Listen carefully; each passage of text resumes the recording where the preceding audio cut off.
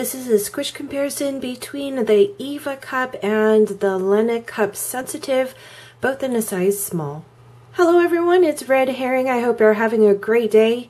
This is a requested comparison by 10 Angel 23.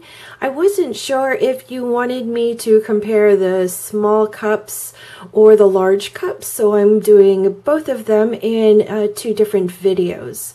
Uh, thank you for your request. I'm going to place both of these cups in the palms of my hands, give them a squish, swap hands, give them a squish again, and then compare the rims. Since these are different shaped cups, I'm going to shift the Lena cup down just a little bit so that the bodies line up a little bit better. And then when I go to compare the rims, I'll move it right back up.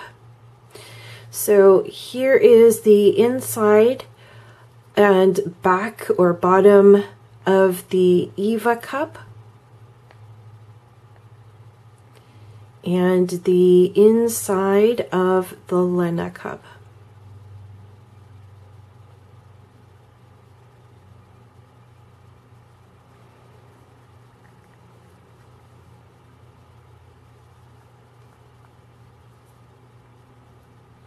there's some dog fur in there, so sorry. Uh, so here is the inside of the Lena Sensitive. And inside of the Eva cup.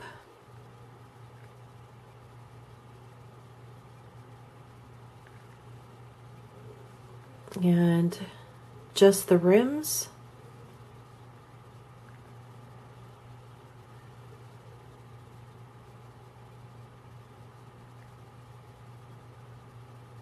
And that was the Eva cup and the Lena cup sensitive, both in a size small.